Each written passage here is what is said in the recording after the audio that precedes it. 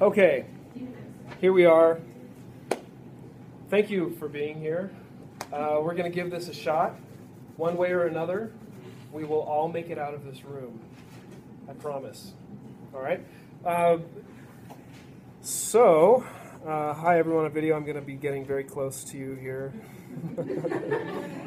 um, okay. Where we left off in class was talking about the motet, right? The motet, why is the motet important?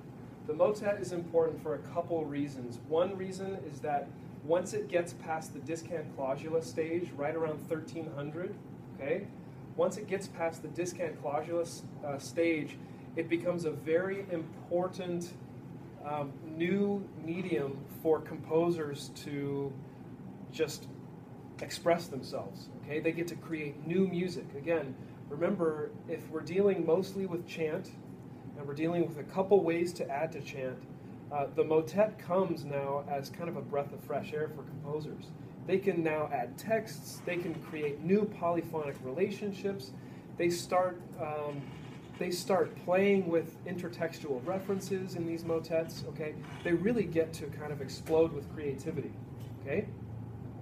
And so the motet is the home in the from 1300 on, so the 13 to 1400, that would be the 14th century. In the 14th century, the motet is a central genre for composers to express their intellectual capabilities. Okay? And in the motet, we see reflected this aesthetic of high intellectualism. All right? Okay, so that's a recap of where we've been. Um, now, with the motet, what we'll see is a continuing complexity. And one of the ways that this complexity is uh, worked out is with what's called the iso, what's called isorhythm. Okay. By the way, all of these um, PowerPoints are already, or they should already be on Moodle, so you can you don't have to write all this stuff down. Um, what is isorhythm? Isorhythm basically refers to a way to deal with the chant line in a motet. Okay? So if you remember, in a motet, the chant line is always in the bottom, right? And what happens is uh, maybe if you're not doing a discant clausula anymore, maybe you want the, the piece to extend beyond one time through, right? Beyond one time through the chant line. So what do you do? The easiest thing to do would be to what? Just repeat it, right? So this would be a very simple uh, example of an isorhythmic motet. That is, you have one the, the chant line and then it's repeated. But that's way too simple, right? If the aesthetic is kind of intellectual complexity, maybe this first section is three times as long as the chant line was. Okay, that is, if it's on, at one subdivision, you choose a subdivision that's proportionally three times as long and then every note get, is three times as long as the original motet. But then the second time through, you would change that and have it just be two times as long. And then the last, you might have it just be in the original measured time. Make sense? So then this would be actually, and then the, the polyphonic lines would be above that, okay? But the isorhythmic part of it is found here in the chant line. Okay. Now we have some we have some terms to know about this, and the first term to know is um, the talea. Okay, so uh, here's a definition of it for you, but again, you don't have to write that down. It's on the slides. The talea. Okay, the talea refers to a pattern of rhythms that repeats in the tenor and the color refers to a pattern of pitches that repeats in the tenor. And this is where we stopped in the early morning section. So this is review for the early morning section. So, um, the talea and the color. The talea refers to rhythmic patterns. The color refers to note patterns. Okay. And uh, the composers who wrote isorhythmic motets were Philippe de Vitry, someone who we had just met, also Guillaume de Machaut, Johannes Ciconia and Guillaume Dufay. Okay? Um, now, if you would take out your anthologies, look at number 25. Or, excuse me, yeah, number 25.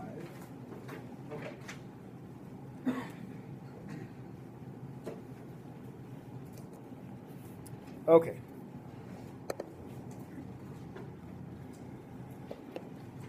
We're listening to number 25, page 70. Uh, I guess it starts on page 71.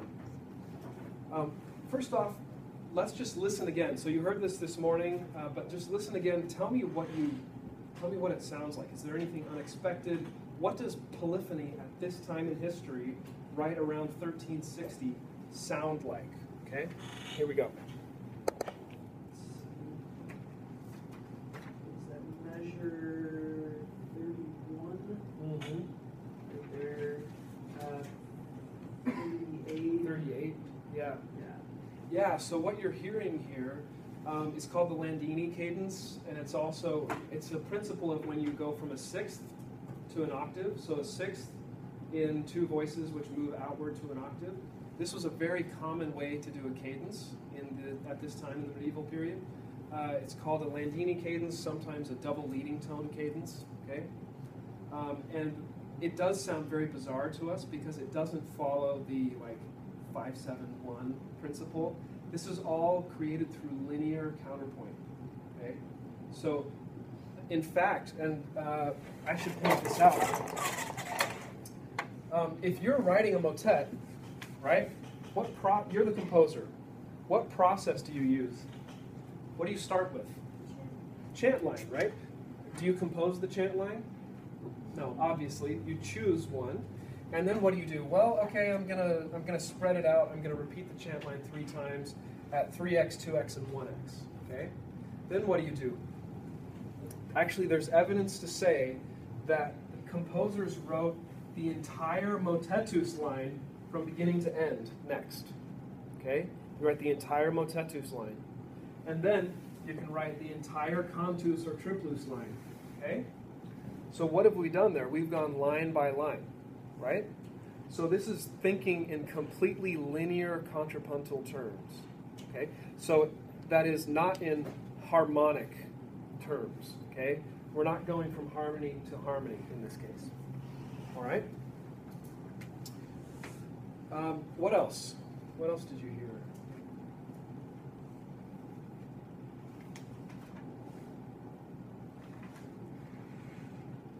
Did you listen to it? Yeah, go ahead. the bottom two lines just kind of switch, but Right. don't have words. So what's what do we have in those bottom two lines? Which one is the tenor?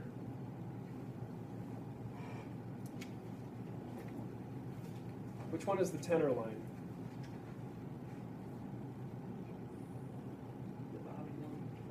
The true tenor is the very bottom one, right? It's called tenor, right? What's that one just above it? So the yeah, the contratenor. Okay? The contratenor literally means against the tenor, and it's a way to add another voice without having to add another text. Okay, so not to get it too out there as far as complexity, but now we have this introduction of a new voice, a fourth voice, which moves along with the tenor line.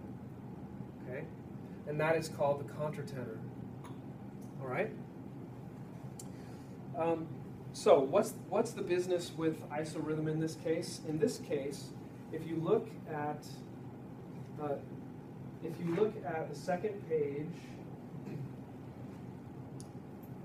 and on page 72, second system from the bottom on the left, do you see at the so you see underneath it says tenor A1. See where it says tenor A1?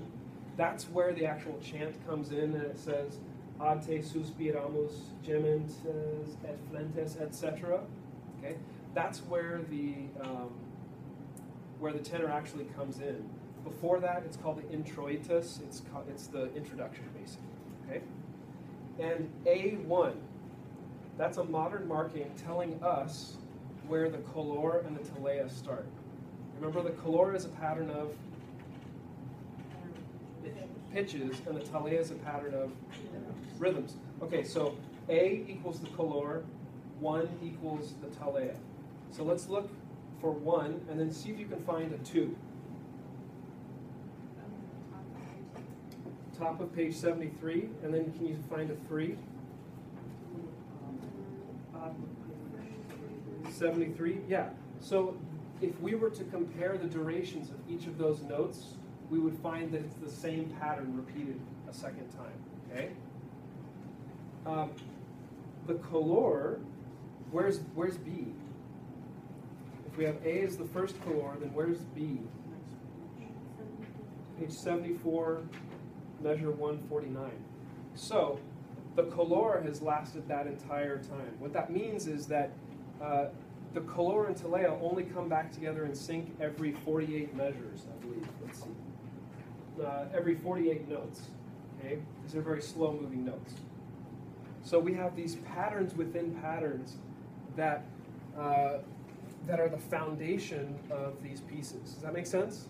Okay? So why am I pointing this out? First, because it was a major compositional technique of this time.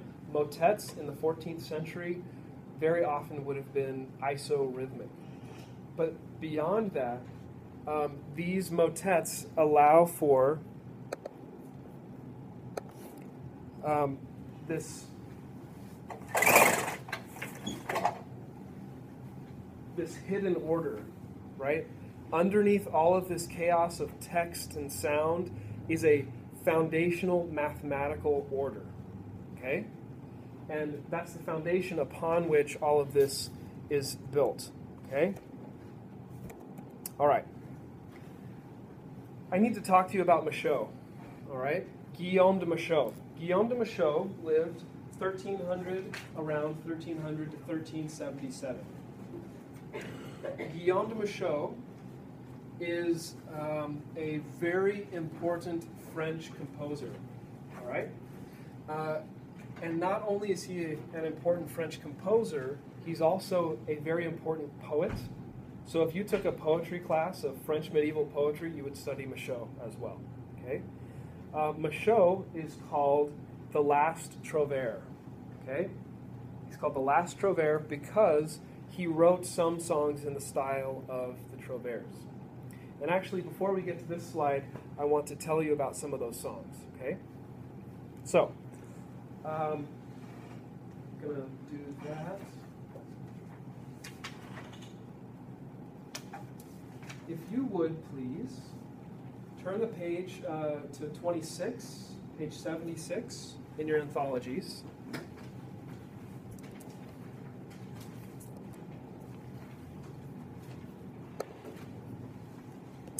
Okay.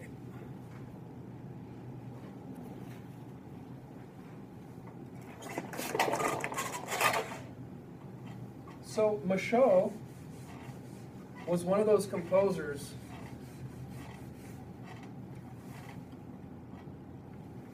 who wrote in every genre that was popular at the time. Okay, uh, this included motets. It included mass uh, polyphonic mass ordinary items, but it also included the chanson. Okay, the chanson of the of the trouvères. So Guillaume de Machaut wrote in the typical forms. Now, over the course of 100 to 200 years, the trouvères uh, developed some pretty intricate forms, okay, musical forms that they used in these chansons. Uh, and the, the ones that I want to tell you about are the virelai, the ballade, and the rondeau. Okay, the virelai, the ballade, and the rondeau. All right. Okay, the first one. Let's uh, let's look at the virelai. The virelay is number 26 in your book. We have three virelays here. And I'm just going to play this for you, all right?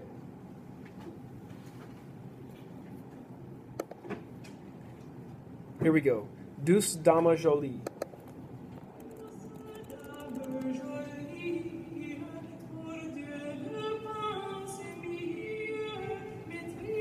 Then it goes back. Could you follow that? Could you follow that more or less? Yeah? Uh, what we have are basically two different melodies, right? An A melody and a B melody. First melody and a second melody, okay?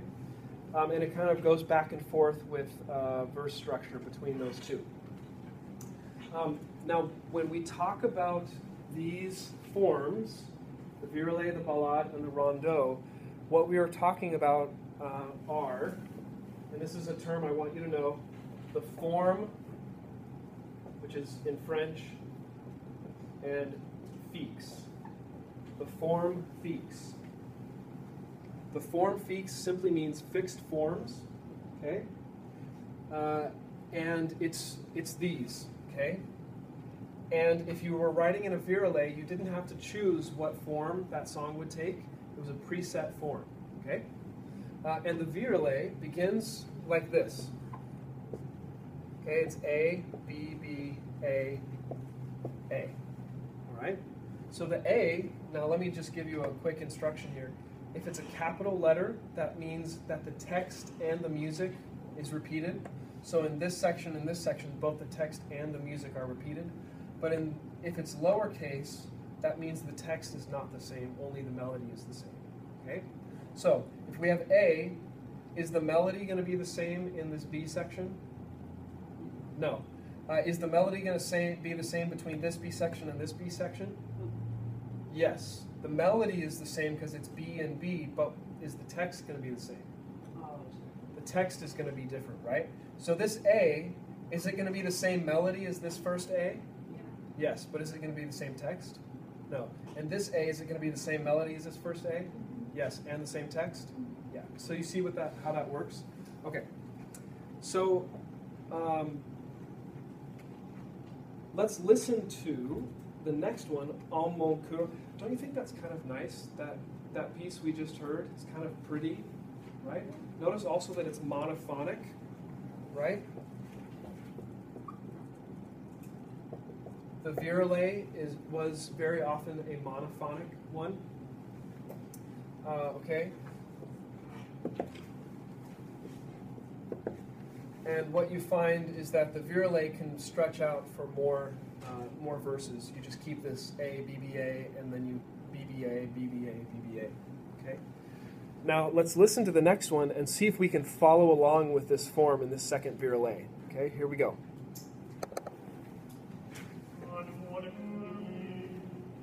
We'll stop it there. Okay? So could you follow along with this form? Okay? This is really the key to listening to these form fixes. Um, while these forms are foreign to us, they would have been known by the listeners, okay, of the day. And so you can expect this poetry to, to be spun out in particular ways. Yes? So the B section was in a ten bar phrase. Is that normal or is They vary. They vary. Yeah, they vary in length. Did you notice that the, the B wasn't a higher tessitura though? More notes in a higher range? That is very common. You would have a lower A section and then a higher B section and then it goes down. Yeah. Other way, there were other also ways to distinguish between A and B sections as well, but that was a common one. Okay. All right. Uh, let's now move on to the next kind. What do we have next? Next, we have a rondeau. And there's no ballade in this, so let me tell you about the ballade uh, first.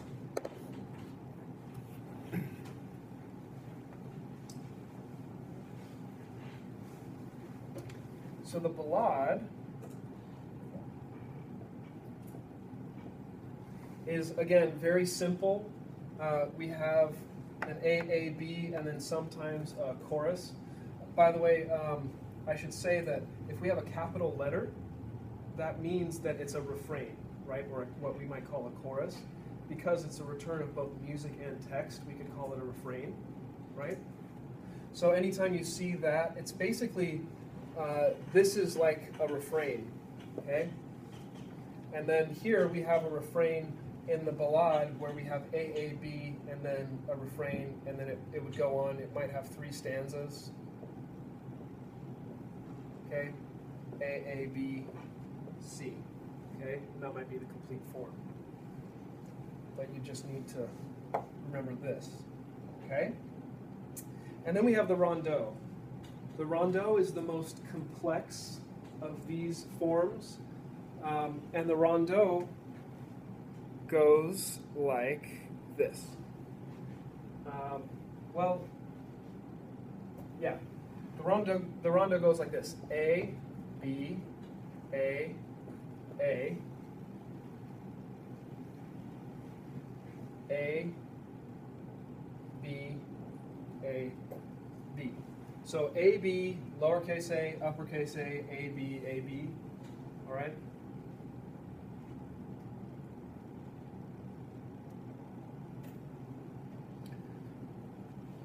And I'm going to give you a, a, shortcut way to remember this in just a moment. But let's see if we can follow along with this rondeau and see uh, if we can follow along with the form. So turn to number 27, page 80, this is a rondeau by Machaut called Rosalise.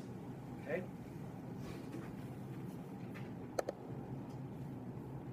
And it sounds like this. Again, try to follow the form, okay?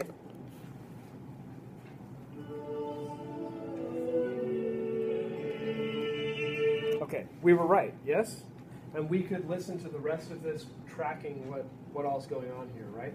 You notice that, you know, if you look at the score, it's like, really, if you look at the text in the score, 1 2, 6 7, 11 12, Rosa Lees, what does that mean? It means that that comes back here, here, and here, right? Okay, do you want me to tell you the easy way to remember all of these? Okay, all you have to do is remember the basic form of the troubadours and trouvères from the beginning was called the canso. And the canso consisted of three parts, A, A, B. Okay? This form canso is the core of every form fixe. Okay? Um, so for instance, let's look at the ballad, right? Can you see that it's basically a canso with a refrain added to it? Right? Okay? But what about the virelai? It's wrong, right? BBA. Well, the letters, what if we called this one B and this one uh, and this one A? Would you say that's equal, right? We just flip the letters. And what do we see here? There's our canso at the heart of this uh, right? What about this one? Do you see the AAB in there? What if we bracket off all of the refrains? What are we left with? You see that? AAB, right? So these form fixes are simply um, different ways to deal with your, the uh, canso by adding refrains. Okay, so just different ways to add refrains to a basic concept. Does this make sense? Yeah. I know it's a little complicated, but the whole purpose of learning this is to figure out how to listen to these uh, these tracks. Okay. All right. We need to switch gears again and now talk about. Oh, we are really going to switch gears.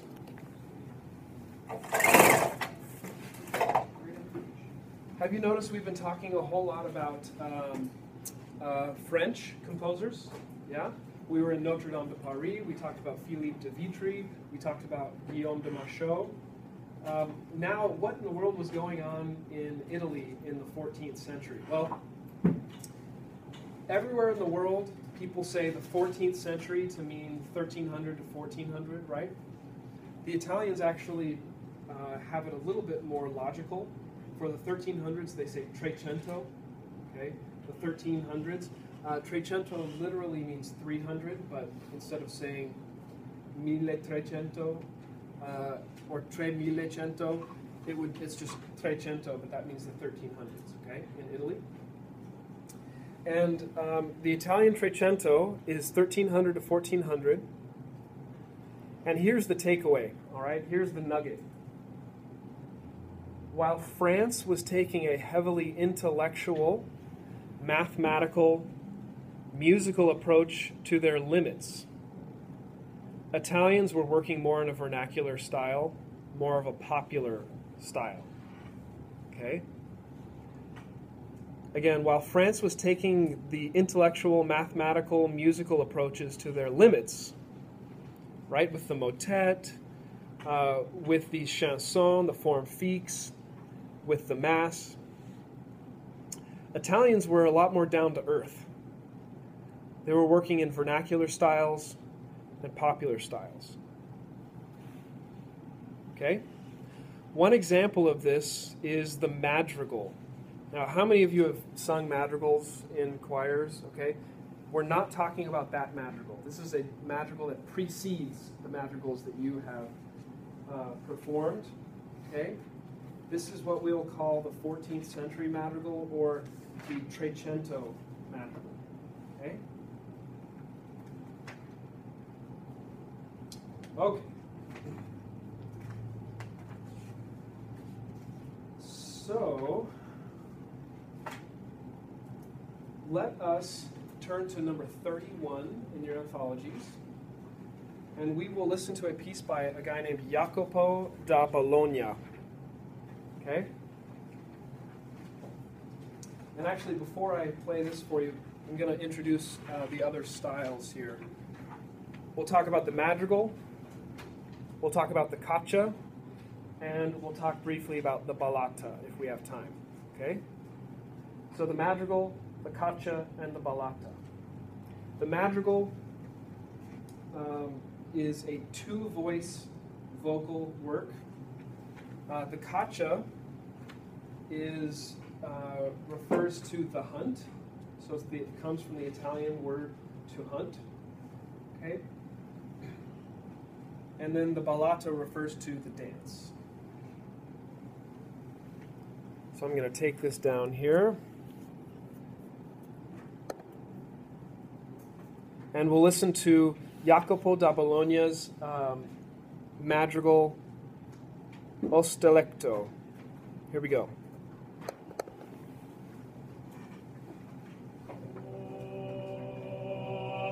Okay, we'll stop right there. So look at the text. Look at the text here. In France, what do we typically have for a secular tune? The subject of love, right? Yeah, fin amour. Okay, what's this about? A wild bird during the season sings sweet lines in a fine style. I do not praise a singer who shouts loudly. Loud shouting does not make good singing, but with smooth and sweet melody Lovely singing is produced, and this requires skill. Few people possess it, but all set up as masters and compose ballate, madrigals, and motets. All try to outdo Philippe de Vitry and Marchetto of Padua. Thus, the country is so full is so full of petty masters that there is no room left for pupils. Well, what's this about? It's about singing, and it's meant to be humorous right? It's supposed to be funny, it's supposed to be a little bit irreverent, okay? Not something you would necessarily find in a Frenchman's composition, okay? Uh, so this is the madrigal. The madrigal is marked by uh, two vocal lines in Italian, and it has contrapuntal uh, relationships. But I want to play the next one for you. The next one is a setting of the same text, okay? a setting of the same text, but in a different genre, the genre of the caccia. Okay? So tell me, the caccia refers to the hunt, right? What is hunt like about this setting? What is hunt like about this setting?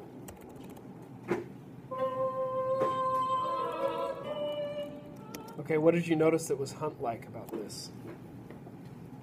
Wally one line chases the other. Yeah.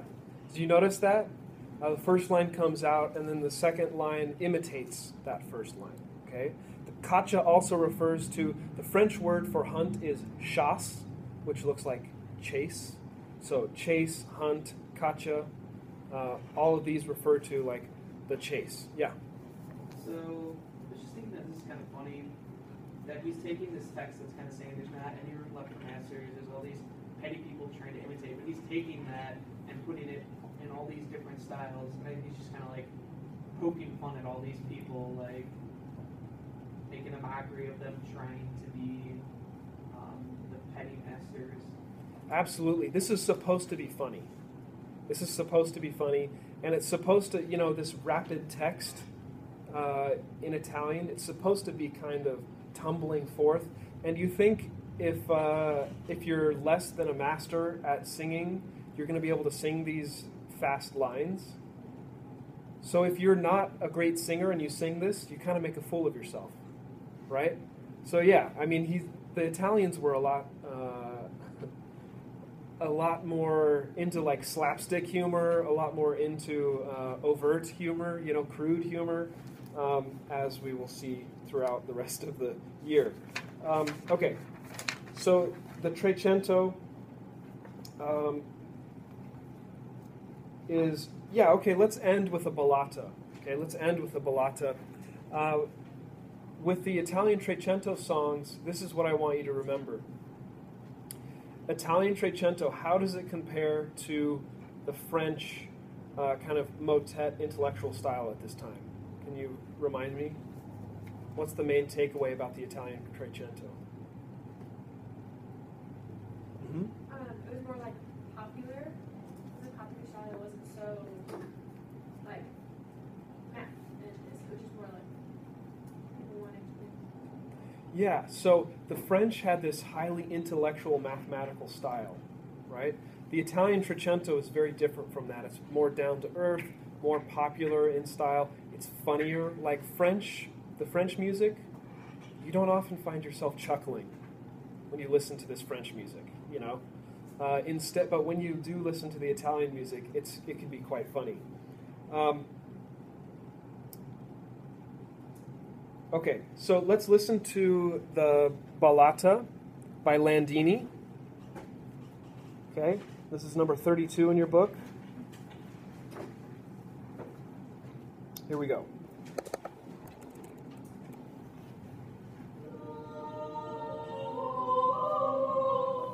We'll stop it right there. Um, so, you may notice that in this particular piece, it's much closer to the French style. Okay, we have more voices. It sounds more uh, intellectually high, right? And the ballata does share some characteristics with the ballade uh, of the formes fixes. Okay. Um, so, again, to review, if we were to compare in the 14th century the French versus the Italians, you might have a good way to distinguish them, at least in broad strokes, right? Okay. The French style is um, represented by the motet, very high sort of intellectual style. The Italian style is far more low, uh, popular style. Now, this uh, carries over into the 15th century, and when I see you all next time on Friday, we will talk about Guillaume du Fay's Nuper Rosarum Flores. And this piece represents the apex of this high intellectual mathematical symbolism.